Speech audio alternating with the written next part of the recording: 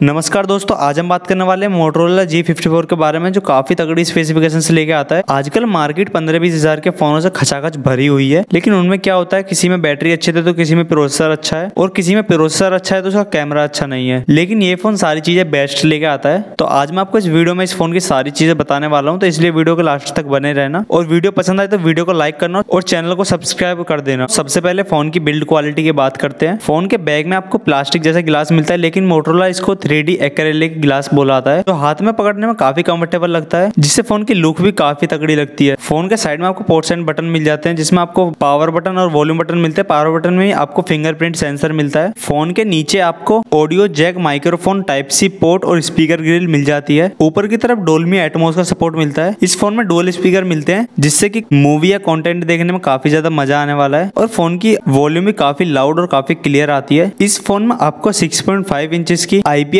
LCD display मिलती है जो 120 ट्वेंटी रिफ्रेश रेट को सपोर्ट करती है। इस डिस्प्ले में आपको 560 नीट्स ब्राइटनेस मिलती है जो थोड़ी सी कम लगती है मुझे। लेकिन फिर भी ब्राइटनेस इसकी ठीक ठाक मिलती है आपको। फ़ोन के अंदर आपको काफ़ी बड़ी बैटरी मिल जाती है। इसके अंदर आपको 6000 हज़ार मिली एम्पियर की बैटरी मिलती है जो आपके डेढ़ से दो दिन आराम से निकाल देगी। वैसे इतनी बड़ी बैटरी होने के बाद भी फ़ोन काफ़ी लाइट वेट लगता है और फ़ोन के साथ आपको थर्टी थ्री वोट का चार्जर मिलता है, जो आपके फ़ोन को डेढ़ से दो घंटे में फुल चार्ज कर देगा। थोड़ा ज़्यादा टाइम लेगा, लेकिन आपकी बैटरी डेढ़ से दो दिन चल जाएगी।